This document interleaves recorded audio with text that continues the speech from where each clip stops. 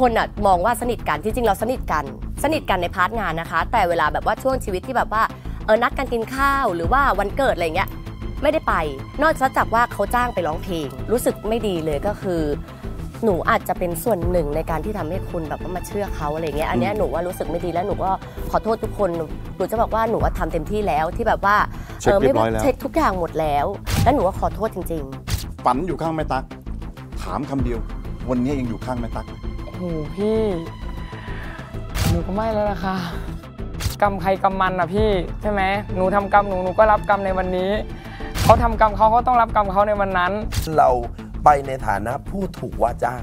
เราไม่ได้ไปมีส่วนได้ส่วนเสียก็นั่นแหละอยากฝากบอกพี่ตั๊กเพราะว่า จริง ๆพี่ตั๊กควรควรออกมา อย่างน้อยๆอะตอนเนี้ออกมาพูดความจริง หรือพูดความจริงกับเจ้าหน้าที่อะคนกลุ่มนี้เขาจะได้ไม่ต้องเดือดร้อน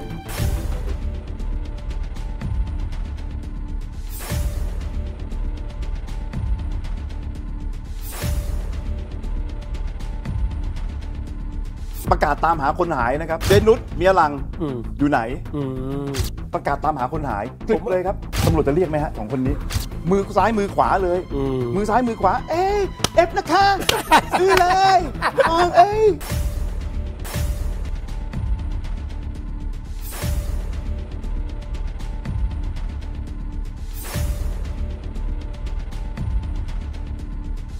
คือเราอย่าไปเห็นแก่เงินอะไรเยอะ นะไม่ใช่ว่า3ามแสนห้าแสนหนึ่งล้านหรืออะไรต่างๆเนี่ยนะถ้าเราไปมองแต่เรื่องเงินเนี่ยมันเหมือนกับว่าเราไม่มีความรับผิดชอบต่อสังคมเลย คนพวกเนี้ยก็มีส่วนทำให้คนเนี่ยมาหลงเชื่อแล้วก็มาเอฟสินค้าอืมนะครับแต่เขาต้องอธิบายอะ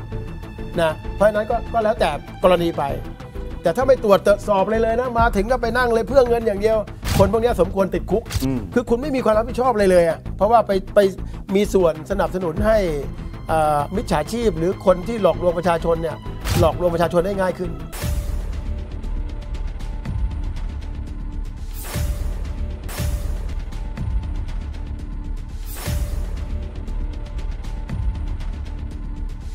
สู่ EP ที่ 7 แล้วค่ะสำหรับรายการโหนกระแสนะคะ กับการขยี้ประเด็นสุดร้อนแรงในสังคมตอนนี้ค่ะ นั่นก็คือเรื่องราวของแม่ตักและป๋าเบียร์นะคะ ที่เมื่อวานค่ะ ถูกจับกลุ่มตัวนะคะใน 4 ข้อหาค่ะ ทั้งช่อโกงประชาชน พรบคอมพิวเตอร์ และพรบคุ้มครองผู้บริโภคค่ะ ก่อนที่จะนำกำลังนะคะเข้าค้นค่ะจับกลุ่มที่บ้านและร้านทองนะคะ โดยในวันนี้ค่ะ ได้มีรายงานนะคะว่าทางแม่ตักและป๋าเบียร์ค่ะ ถูกควบคุมตัวฝากขังที่ศาลอาญาเรียบร้อยแล้ว โดยมีรายงานนะคะว่าพนักงานสอบสวนค่ะ และผู้เสียหายคัดค้านการประกันตัว เนื่องจากศาลพิเคราะห์พฤติการแห่งคดี มีลักษณะก่อความเสียหายต่อผู้เสียหายหลายราย เป็นความผิดหลายกรรมนะคะ คดีต้องทำการสอบสวนพยาน ผู้เสียหายอีกหลายปากค่ะ เกรงว่าจะหลบหนีหรือว่ายุ่งเหยิงกับพยานหลักฐาน กระทบต่อการแสวงหาข้อเท็จจริงในคดีค่ะ ขณะที่ในรายการโหนกระแสนะคะ1ตุลาคมค่ะ ได้มีการเปิดตัวเหล่าอินฟลูเอนเซอร์ค่ะ และดารานะคะมากกว่า 32 คนค่ะ ที่เคยปรากฏตัวในไลฟ์สดของแม่ตั๊กและป๋าเบียร์นะคะ ก่อนที่จะเชิญค่ะ 3 คนดัง ที่มีประเด็นมากที่สุดนะคะมานั่งเปิดหน้าชนกลางรายการค่ะ ได้แก่คุณจ๊ะนงผณีเจ๊แมนเตี่ยวกระเทยค่ะ และซอฝันนะคะใน EP ที่มีชื่อว่าโหนกระแส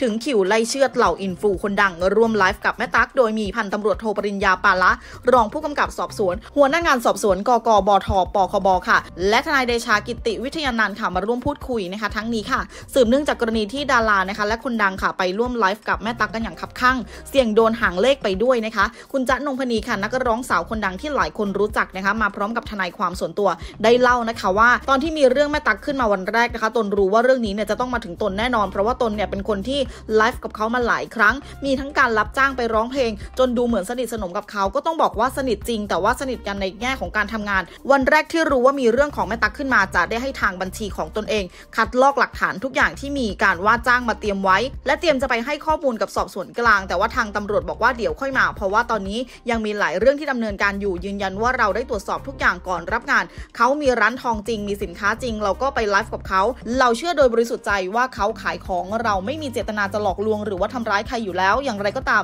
มีบุคคลหนึ่งออกมาไลฟ์กล่าวหาว่าจ๊ะนงพนีได้เงินเป็น 10 ล้านจากการไลฟ์กับแม่ตั๊กจ๊ะยืนยันว่าไม่เป็นความจริงได้เงินตามค่าจ้างปกติเลย ไม่มีนอกไม่มีในไม่มีเงินหลังบ้าน หลักฐานการรับเงินทุกอย่างมีครบจ๊ะนงพนียังเล่าอีกนะคะว่า มีคนทักว่าจ๊ะกับตั๊กหน้าเหมือนกันเขาก็เลยติดต่อมาไปไลฟ์ด้วย ซึ่งก่อนที่จะไปไลฟ์ก็มีการตรวจสอบก่อนแล้วว่าสินค้า หรือว่าใบอนุญาตนั้นถูกต้องจึงไปไลฟ์ได้ค่าจ้าง1นึ่งแสนห้าแล้วก็เปลี่ยนสินค้าไปเรื่อยๆ ส่วนร้านทองของเขาเนี่ยก็จ้างตอนเปิดร้านทองวันแรก เขาก็ส่งใบอนุญาตการเปิดร้านใบประกอบถูกต้อง และเธอได้ให้ทนายตรวจสอบแล้ว วันนั้นที่ชื่นชมเพราะว่าเขาก็แจกของให้ชาวบ้านด้วยในวันที่เปิดร้านแล้วก็ไลฟ์ขายของ เขาบอกว่าทองที่เป็นไอไข่เนี่ยเป็นทองแท้ ไอไข่ลงพิธีถูกต้องแล้วก็เลยไปไลฟ์ขายของ และแม่ตั๊กเคยให้โทรศัพท์มือถือมาส่วนอันนี้เนี่ยให้จริง ๆ ได้แต่เครื่องไม่เคยได้คุยเรื่องทรัพย์สินกันเลย เธอไม่ได้กังวลใจอะไรนะคะ แต่ว่ารู้สึกไม่ดีที่ตัวเองค่ะทำให้คนอื่นหลงเชื่อนะคะ ไม่ได้มาหลอกทำตามหน้าที่ของตัวเองเต็มที่แล้ว และที่มีคนกล่าวหาว่าจ๊ะได้จากตั๊กเป็น 10 ล้านนั้นไม่จริงจะทำงานหาเงินมาด้วยตัวเองพร้อมเข้าสู่กระบวนการอย่างถูกต้อง ขณะที่ทางด้านของทนายมนตรีบานเย็นนะคะทนายความและที่ปรึกษากฎหมายของคุณจ๊ะนงพนีค่ะได้กล่าวว่า ในกรณีที่มีคนออกมาพูดกล่าวหานะคะ ให้เกิดความเสียหายแบบนี้ ทางจ๊ะนงพนีค่ะ จะขอใช้สิทธิทางกฎหมายนะคะ เอาผิดผู้ที่ออกมาให้ข้อมูลอันเป็นเท็จที่ก่อให้เกิดความเสียหายด้วย ทางด้านของซอฝันค่ะแม่ค้าออนไลน์ชื่อดังใน t ิ k t o k นะคะที่มีชื่อติดหนึ่งใน4ของคนสนิทของแม่ตั๊กค่ะ ได้บอกกับพี่หนุ่มกัญชัยนะคะ ว่าตนเนี่ยไม่ได้สนิทกับทางแม่ตั๊กต้องเท้าความก่อนว่าตนเป็นคนที่ตามหาน้องแมงปอและผู้กันช่วงที่น้องทั้งสองคนมาออกรายการโหนกระแส แล้วก็คลิปนั้นเนี่ยมีคนดูไปมากกว่า 10 ล้าน จากนั้นเนี่ยพอตนเอาน้องมาไลฟ์ด้วยแม่ค้าออนไลน์หลายคนจึงอยากได้ตัวน้องไปไลฟ์ด้วยจากนั้นซอฝันก็ได้เล่านะคะว่าเธอรู้จักกับแม่ตั๊กค่ะจากการที่อีกฝ่ายนะคะติดต่อมาจะขอไลฟ์กับแมงปอผู้กันที่มาไลฟ์กับเธอค่ะ แล้วเขาก็เห็นว่ายอดดีนะเธอเห็นแบบนั้นก็เลยบอกให้ทั้งสองคนไปไลฟ์กับแม่ตั๊กนะคะเพราะเห็นว่าเป็นโอกาสที่ดีเพื่อที่น้องๆ จะได้ทำงานและมีเงิน เมื่อถามว่าแล้วมันมีข่าวว่าซอฝันเนี่ยไปสนิทกับทางแม่ตั๊กได้ยังไง ซอฝันนะคะก็ชี้แจงว่าเรื่องที่มีข่าวออกมาว่าเธอนั้นได้กินข้าวสนิทกันกับแม่ตั๊กนั้นไม่จริง เพราะว่าเธอเนี่ยเพิ่งจะรู้จักแล้วก็เป็นปกติเลย ที่คนเราเนี่ยอยากจะไปกินข้าวกับคนดังที่มีเงิน และเขาเนี่ยก็เป็นคนใจบุญมาก แต่ก็เพิ่งมารู้เรื่องที่เขาใจบุญไม่จริงเหมือนกันช็อกมาก ส่วนที่มีคนบอกว่าเธอเนี่ยเป็นคนเหมือนกับแม่ตั๊กนั้นไม่จริง เพราะว่าทรัพย์สินที่เห็นนะคะเอามาทำคลิปเนี่ยเป็นทรัพย์สินของบริษัทเธอค่ะเอามาทำคลิปเฉยๆเลย และพร้อมที่จะเข้าสู่กระบวนการนะคะการตรวจสอบความบริสุทธิ์ด้วยยืนยันไม่ได้มีเจตนาที่ไม่ดีนะคะ เมื่อขยี้ถามว่า แล้วคนทำไมถึงโยงชื่อของซอฝันนะคะ มาเกี่ยวว่าสนิทสืบเนื่องมาจากเรื่องราวดราม่านะคะของแม่ตั๊กกับคุณดิวธีรพัฒน์นั่นเองค่ะ จากเหตุการณ์ไลฟ์สดนะคะของแม่ตั๊กกับแมงปอผู้กันค่ะ และมีช่วงหนึ่งนะคะที่แม่ตั๊กค่ะได้กล่าวขอบคุณตนนะคะ ที่พาน้องทั้งสองคนไปเจอ แล้วก็ไม่ได้เอ่ยขอบคุณคุณดิวนะคะ จนทำให้ทัวร์ค่ะไปลงทางด้านของแม่ตั๊กจากนั้นเนี่ยตนก็เลยออกมาไลฟ์ค่ะถึงประเด็นนี้ด้วยยอมรับว่าเข้าข้างแม่ตั๊กเพราะส่วนตัวเนี่ยมองแบบเดียวกันเลยก็คือคุณดิวไม่ได้มาทำอะไรให้กับแม่ตั๊กจึงไม่ได้กล่าวขอบคุณก็ต้องขอโทษด้วยที่เป็นคนพูดจาผงผางทำให้รู้สึกน้ำเสียงไม่น่าฟัง เมื่อจี้ถามอีกนะคะว่ามีคนบอกว่าซอฝันเนี่ยเข้าข้างแม่ตั๊กตลอดเลยนะ ซอฝันค่ะชี้แจงนะคะว่าเรื่องของธุรกิจเนี่ยตนไม่เคยออกมาพูดเลยเกี่ยวกับแม่ตั๊ก มีแต่เรื่องของน้องแมงปอและผู้กันเท่านั้นที่ออกมาเข้าข้าง เนื่องจากว่ามีคนมาถามถึงประเด็นดราม่าที่เข้ามานะคะ ซึ่งตนเนี่ยก็ตอบไปตามที่คิดเลยก็คือ มันไม่ใช่ความผิดของแม่ตั๊กคราวนี้เนี่ยก็โดนเลย ทุกวันนี้เนี่ยตนก็เลยต้องเจียมเนื้อเจียมตัว จากนั้นในรายการค่ะก็ได้เปิดคลิปนะคะของทางซอฝันค่ะที่เคยนะคะออกมาพูดไลฟ์ค่ะเข้าข้างแม่ตั๊กนะคะปมดราม่ากับคุณดิวธีรพัฒน์ค่ะ ที่มีตัวแปรก็คือคู่รักอย่างน้องแมงปอและผู้กันนะคะ ซึ่งหลังจบคลิปค่ะที่ซอฝันพูดเข้าข้างแม่ตั๊กนะคะ คุณหนุ่มกัญชัยก็ได้จี้ถามทันทีนะคะ ว่าคำถามเดียว วันนี้อยู่ข้างแม่ตั๊กไหมด้านซอฝันถึงกับร้องโหพี่หนูก็ไม่แล้วล่ะค่ะ เป็นบางเรื่องนึกออกไหมเรื่องไหนผิดก็ต้องว่าไปตามผิด แต่เรื่องไหนที่ตนมองว่ามันไม่ได้ผิดเนี่ยเราก็พูดตามเนื้อผ้าตามเรื่องจริง แต่คำพูดน้ำเสียงของหนูเนี่ยมันอาจจะไม่น่าฟังก็จะเอาไปปรับปรุง เมื่อถามว่าถ้าเกิดว่าแม่ตั๊กเนี่ยมานั่งดูอยู่อยากจะบอกอะไร ซอฝันนะคะก็บอกว่าถ้าพูดในฐานะของคนที่เพิ่งรู้จักกัน ก็อยากจะบอกว่าอยากให้ไปใช้หนี้ผู้เสียหายให้มันจบเรื่องไหนที่ต้องสู้คดีก็สู้ไป ต้นทำกรรมตนก็พร้อมรับในวันนี้เขาทำกรรมเขาก็ต้องรับกรรมของเขา และในวันนี้ที่มาเนี่ยก็เพื่อยืนยันความบริสุทธิ์ใจ ไม่เคยค้าขายทำธุรกิจด้วยกัน ไม่เคยได้เงินจากเขาสักบาทเดียว จากนั้นพี่หนุ่มนะคะก็ได้บอกค่ะว่าซอฝันเจ๋งนะที่กล้ามาออกรายการและยอมรับ เพราะว่าเมื่อวานเนี่ยที่ติดต่อไปเนี่ยเขาบอกว่าอยากจะมายืนยันข้อเท็จจริง ก่อนจะแซะตรงๆกลางรายการนะคะถึงเจนุสมีรังค่ะบอกว่าในขณะเดียวกันเนี่ยมีคนหายขอประกาศตามหาคนหายนะเจนุสมีรังอยู่ไหน ประกาศตามหาแล้วกริบเลย ซึ่งเป็นมือซ้ายมือขวาของแม่ตั๊กเลย พร้อมกับได้หันไปถามทางท่านรองปริญญานะคะว่าจะเรียกมาสอบด้วยไหมนะคะซึ่งท่านบอกว่าต้องเรียกแน่นอนค่ะ และเมื่อถามถึงความผิดนะคะ สมมุติว่าแม่ตั๊กเนี่ยเขาผิดเรื่องนี้ คนที่สนิทเนี่ยเจนุสจะมีความผิดอะไรไหมท่านรองปริญญานะคะ บอกว่าอยู่ที่พฤติการของแต่ละคน ซึ่งจะต้องเรียกมาสอบปากคำเพื่อให้ได้ข้อเท็จจริงก่อน ถ้าเกิดว่าเขาถึงขนาดที่มีส่วนรู้เห็นกับการกระทำความผิดก็ถือว่าเป็นตัวการร่วม อาจจะแจ้งความร่วมกันกระทำความผิด แต่ถ้าเขาแค่ให้การสนับสนุนก็จะเป็นแค่ให้การสนับสนุน หรือถ้าสามารถชี้แจงของตนเองได้ไม่มีเจตนาเนี่ยก็อาจจะเป็นแค่พยาน ขณะที่ทางด้านของเจนแมนเตี๋ยวกระเทยนะคะ ได้เล่าว่ากรณีที่เคยไปไลฟ์สดกับแม่ตั๊กค่ะ เพราะว่าเขาได้ติดต่อมา ตนก็ไม่ได้เรียกค่าตัวแล้วแต่จะให้แต่ว่าตกลงกันไปในไลฟ์ไม่เคยรู้จักกัน ตอนที่ไลฟ์ขายคือโปรตีนเจลลี่สบู่ค่าจ้างเนี่ยครั้งแรกเลยคือ 30,000 บาท พอทำคลิปก็ให้เพิ่ม 10,000 บาท ครั้งที่ 2 เลยคือ 1 0 0 0 0แครั้งที่3ถึง6เนี่ยคือ 30,000 บาท ตอนแรกเนี่ยผมพูดว่าผมไม่ชอบแม่ตั๊กเพราะเขาถามผมว่ารู้สึกยังไงกับพี่เขาดูแจกเงินไปเรื่อย ตอนนี้ไม่ได้ชอบแต่ที่มาเพราะว่าเขาจ้างยอมรับว่าสนิทกันในระดับหนึ่งเขาชวนไปปาร์ตี้วันเกิดครั้งล่าสุดเป็นงานหรูหราแต่ที่จริงเนี่ยก็ไม่ได้ไลฟ์กับเขามามากกว่า 4-5 เดือนแล้ว แต่ที่มาออกรายการเพราะเรากังวลว่าจะโดนหางเลขหรือเปล่า เลยอยากจะมายืนยันว่าเราได้แค่เฉพาะค่าตัวที่ได้ในแต่ละครั้ง แต่ไม่ได้มีส่วนเกี่ยวข้องในเรื่องอื่น FC ผมชอบถามซื้อโทรศัพท์ให้ แต่ที่จริงเนี่ยผมเนี่ยไม่ได้ แล้วผมเนี่ยก็พูดกับเขาเลยว่าเอาแค่ค่าตัวเดี๋ยวผมไปซื้อเอง ส่วนข่าวที่ว่าแม่ตั๊กจะลงทุนเปิดร้านให้เนี่ยเขาก็ไม่ได้เปิดร้านให้ เพราะวันที่ไลฟ์วันแรกเขาติดต่อมาบอกว่าอย่าเพิ่งรับครีมกันแดดที่ไหน จะทำให้เป็นพรีเซนเตอร์จนมีบริษัทหนึ่งติดต่อมา ผมก็เลยบอกว่าผมรับไม่ได้รับงานคุณตั๊กไปแล้ว แต่ถึงเวลาเนี่ยก็ไม่ได้ทำให้ เรื่องทองก็ยืนยันว่าไม่ได้ไปไลฟ์แล้วก็ไม่เคยได้ทองวันนี้เนี่ยอยากจะมาแสดงความบริสุทธิ์ใจ ไม่ได้มีเจตนาหลอกคนและเสียใจที่ทำให้แฟนคลับหลงเชื่อไปซื้อของร้านนี้ ขณะที่ทางด้านของทนายเดชาค่ะบอกว่าบรรดาอินฟลูเอนเซอร์นะคะก็น่าเห็นใจค่ะเพราะว่างานจ้างต่างๆ เหล่านี้เนี่ยเวลาเขาติดต่อมานะคะ มันไม่รู้เลยว่าที่มาของเงินเนี่ยมันผิดปกติไหมมันผิดกฎหมายไหมเรื่องนี้ต้องระมัดระวัง เพราะว่าตามหลักของกฎหมายแล้วพอมันเกิดขึ้น พอมันเกิดเรื่องแบบนี้มาเนี่ยถ้าคุณรู้แต่แรกว่าเขาผิด คุณก็คือตัวการร่วม แต่ถ้าคุณไม่รู้เนี่ยก็อาจจะผิดในฐานะของผู้ที่ให้การสนับสนุนอยู่ดี ทั้งนี้ในช่วงออนไลน์นะคะ ในรายการโหนกระแสค่ะได้มีการเปิดตัวเหล่าอินฟลูเอนเซอร์และดารานะคะมากกว่า 32 คนค่ะที่เคยปรากฏตัวในไลฟ์สดของแม่ตั๊กค่ะ มีตั้งแต่แมงปอผู้กันนะคะนาราเคปกระเทยค่ะลิลลี่เหงียนแน็กชาลีจีกามิน หนูรัตครูไพบูลบิ๊กผู้ใหญ่บ้านฟินแลนด์ ไอซ์ปรีชยาแพรวพราวแสงทอง แก้มบุ๋มแม่ลี เปิ้ลไอริน ใบเตยอาสยาม เนสตี้สไปซี่ อุ้มทวีพร แจ็คแป๊บโฮเนเงินครูเบีย ชาร์ลอตออสติน เก่งไรพางลีน่าจัง แพทนปภาพิงกี้สวิกา โมอามีนาเป็นต้นค่ะ ทางด้านของพันตำรวจโทปริญญานะคะ ได้กล่าวว่าเรื่องของดารานะคะ แล้วก็คนดังค่ะที่ได้ไปไลฟ์สดนั้น ถ้าสามารถอธิบายได้ว่าไม่มีเจตนาก็ไม่น่าเป็นห่วง แต่ว่ายังคงต้องมีการตรวจสอบข้อเท็จจริงอยู่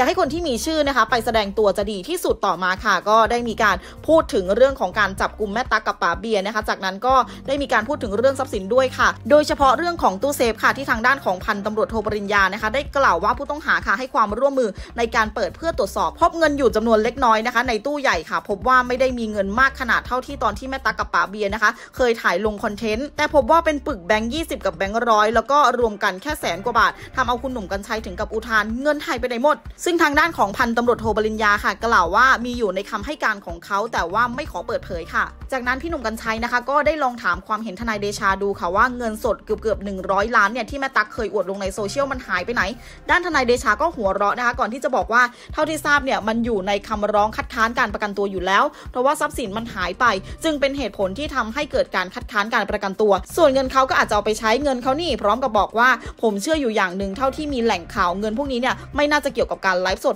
อาจจะเป็นเงินจากส่วนอื่นหรือเปล่า เพราะว่าถ้าไปตรวจดูงบการเงินเนี่ยเงินของพวกเขามันไม่ได้อยู่ในงบ ไม่ได้อยู่ในรายรับรายจ่าย เงินพวกนี้เนี่ยเขาอาจจะได้มาจากการประกอบอาชีพหลายอย่างอย่างเช่น รับจำนำปล่อยเงินกู้ มันทำได้เยอะ ธุรกิจอะไรที่เป็นนอกระบบ เพราะว่าคนทั่วไปเนี่ยใครเขาจะเอาเงินสดมาวางกันแบบนี้เขาเอาไปใส่ไว้ในธนาคารหมด แต่ว่าคนที่มีลักษณะของการเอาเงินไปไว้ในบ้านแบบนี้ ถ้าเป็นคดีอื่นๆเนี่ยคือทำงานนอกระบบ ต่อมาเรื่องของนาฬิการูของแม่ตักและป๋าเบียค่ะพันตำรวจโทปริญญานะคะบอกว่าจากการตรวจคนบ้านนะคะไม่เจอนาฬิกาหรูจำนวนหลายเรือนค่ะ ที่เขาเคยนะคะเอาออกมาโชว์ แต่ได้ทำการตรวจตู้เซฟใบเล็กนะคะสำหรับใส่นาฬิกาหรูค่ะ แต่ว่าณวันนี้เนี่ยยังไม่สามารถเปิดได้เนื่องจากว่าผู้ต้องหานะคะเขาบอกว่าจำรหัสไม่ได้ พี่หนุ่มกัญชัยนะคะ ถึงกับบอกว่ามันเป็นไปได้ยังไง มันเป็นเรื่องสำคัญมันเป็นไปไม่ได้ นาฬิกาคุณเอาเข้าเอาออกทุกวัน ขณะที่ทางด้านของทนายเดชาได้ชี้ว่าเป็นไปไม่ได้ พร้อมกับตั้งข้อสงสัยว่ายกเว้นแต่ไม่ให้ความร่วมมือ ต่อมาอีกประเด็นนะคะที่พี่หนุ่มกรรชัยไม่ปล่อยผ่านค่ะ คือเรื่องไอ้ไข่นะคะ โดยทางรายการค่ะได้มีการโฟนอิน คุยกับเนเงินนะคะ คนที่เคยไปไลฟ์กับแม่ตั๊กค่ะโฟนอินมาเล่าถึงประเด็นเรื่องไอ้ไข่ที่วัดเจดีย์ค่ะ ยืนยันข้อเท็จจริงนะคะว่าไอ้ไข่ที่แม่ตั๊กขายไม่ใช่ไอ้ไข่แท้จากวัดเจดีย์ซึ่งตนนะคะในฐานะของคนนครศรีธรรมราช ยืนยันได้ว่าตนเคารพบูชาไอ้ไข่มาก ถ้าจะไลฟ์แบบนี้ทางวัดไม่อนุญาตตนก็ขอไม่ไลฟ์ขณะที่ทางด้านของนายนันทิภาคมีเดชาแอดมินเพจวัดเจดีย์วัดไอ้ไข่นะคะได้โฟนอินเข้ามาชี้แจงค่ะว่า วันที่เกิดเรื่องนะคะคือเขาเนี่ยไปไลฟ์ในวัด โดยมีการเอาไอ้ไข่นะคะของเขามาเองไม่ใช่ไอ้ไข่ของทางวัด และทางวัดเนี่ยก็มีกฎระเบียบนะคะไม่ให้ใครเอามาไลฟ์สดค่ะไม่อนุญาต ซึ่งทางเราเนี่ยก็ได้เชิญเขาออกไป เขาก็ยินยอมออกแต่โดยดี แต่ถามว่าทางวัดเนี่ยจะไปดำเนินคดีกับเขาไหมก็คงไม่ให้มันเป็นเรื่องของเวรกรรมสิ่งศักดิ์สิทธิ์จะจัดการก็แล้วกัน ซึ่งกรณีนี้นะคะทางด้านของทนายเดชาค่ะชี้ว่าเป็นความผิดฐานพรบคอมชัดเจน ซึ่งต้องดำเนินคดีไปนะคะเพราะว่ามันไม่ใช่เรื่องจริง และในช่วงท้ายของรายการค่ะพี่หนุ่มนะคะก็ได้ให้โอกาสค่ะทางคุณจ๊ะนงผณีซอฝันและเจ๊แมนได้พูดอะไรถึงเรื่องนี้ค่ะ ด้านของจ๊ะนะคะได้กล่าวว่าส่วนตัวเนี่ยก็ไม่ได้กังวลใจเลย เพราะว่าตนไม่ได้มีเจตนาจะไปหลอกลวงใครเลย